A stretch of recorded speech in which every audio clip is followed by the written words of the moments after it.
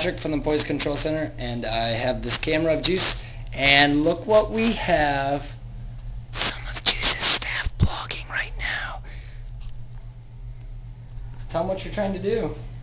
I'm trying to flip a picture. It's horizontal. I'm trying to make it vertical.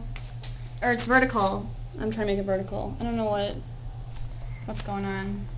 I might just have to put it up like that. I hope people can understand. And who are you with? Juice Magazine.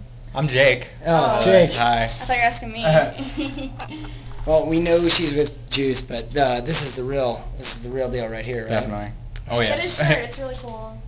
I've had two comments already today. What today. does it say? says you'll go to hell for what your dirty mind is thinking.